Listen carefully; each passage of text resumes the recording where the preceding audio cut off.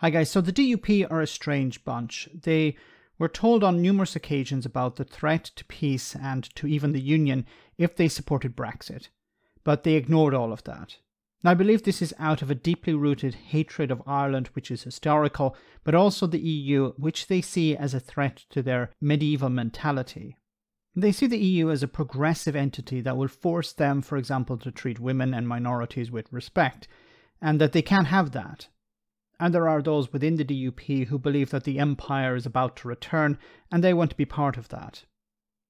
Anyway, as I've said before, they campaigned for Brexit, they told their supporters to vote for it, and they are still backing leaving the European Union.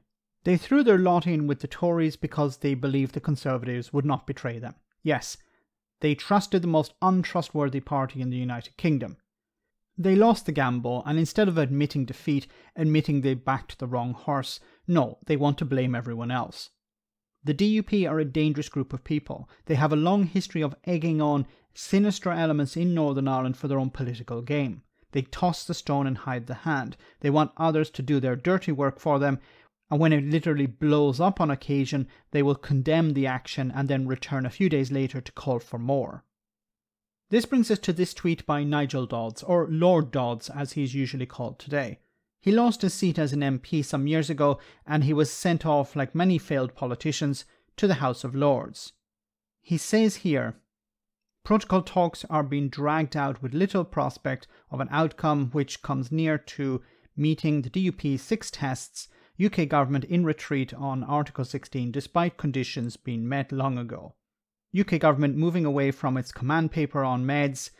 If UK government won't act, unionists must, and soon. So let me give you a bit of context here. What is he talking about, and why is this tweet dangerous and potentially illegal? First, let's look at the six DUP tests he's talking about.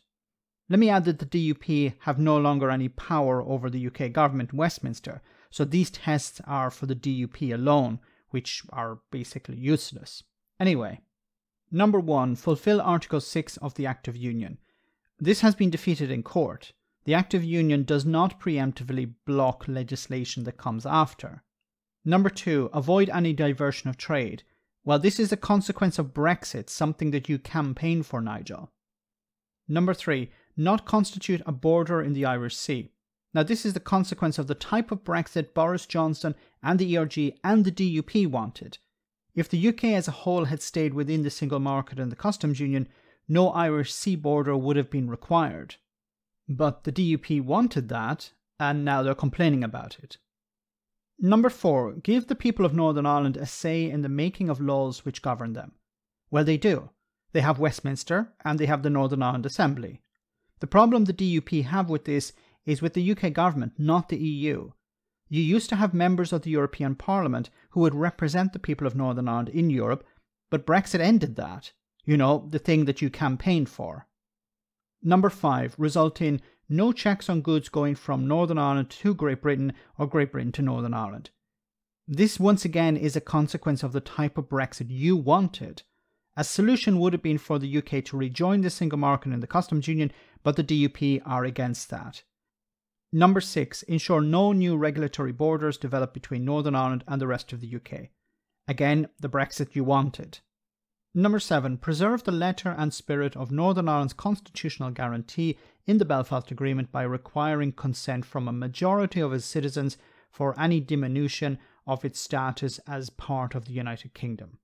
Okay, I have a lot to say on this.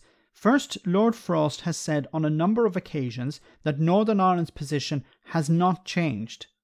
So, do you believe your own government or not? Second, when it comes to consent, which, yes, is part of the Belfast Agreement, why are we not concerned about the issue of consent when it comes to, say, Brexit? Brexit changed the game here. When the issue of consent is brought up by Remainers, the DUP say Northern Ireland isn't important, Brexit was a vote for all of the UK. So the concept of consent is only important when the DUP deem it so. Anyway, back to Nigel's tweet. He says that the UK government has retreated from threatening to trigger Article 16 of the Northern Ireland Protocol, despite the conditions being met long ago.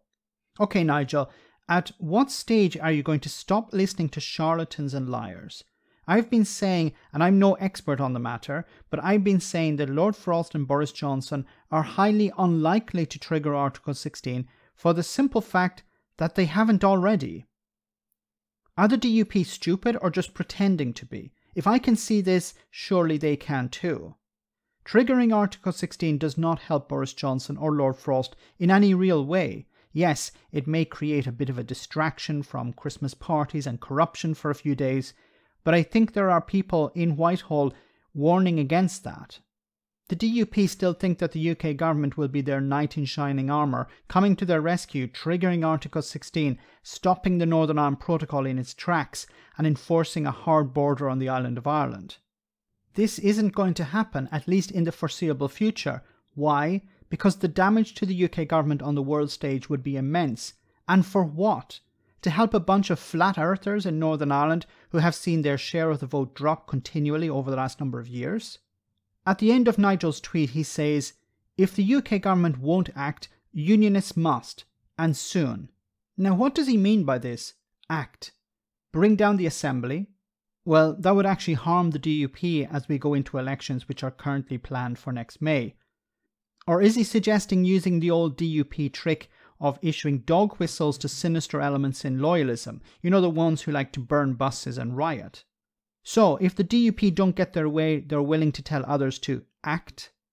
I'm frankly concerned with how easy a party that calls itself democratic is so happy to switch on and switch off non democratic actors at the drop of a hat.